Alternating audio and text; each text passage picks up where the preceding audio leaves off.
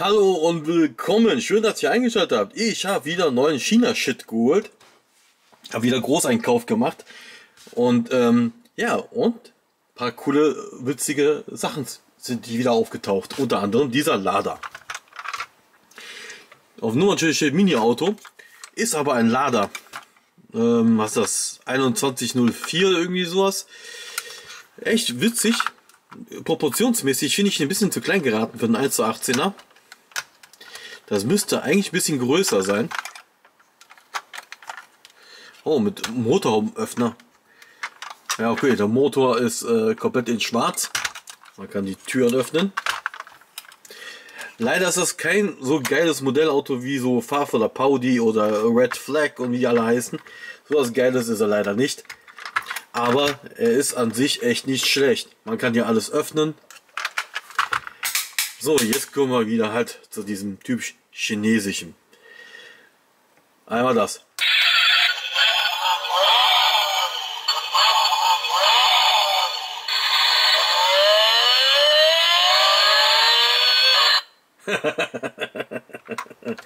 ja, die haben es schon wieder getan.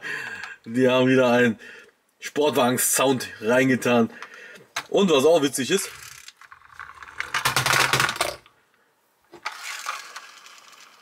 Rückziehmotor.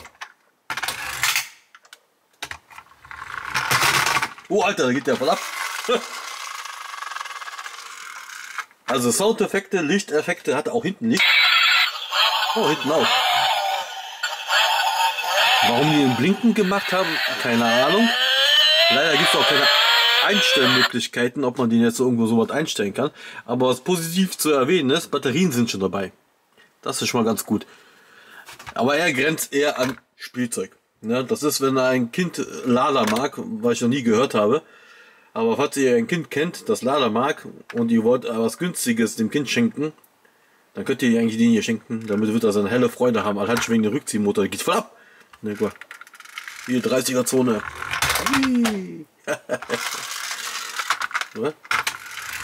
Der Rückziehmotor macht echt Spaß. Seht ihr das? Der fährt hier gerade über Stock und Stein. Also, er ist witzig, er hat was, macht was, tut was.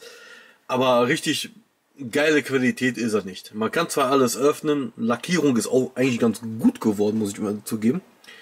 Ähm, aber er ist proportionsmäßig klein geraten und die hässlichen Spiegel, als hätten sie die vergessen, die Spiegel zu machen und dann hat einer auf die Stelle die Idee, oh komm, scheiße, wir machen mal solche hässliche Dinger dann.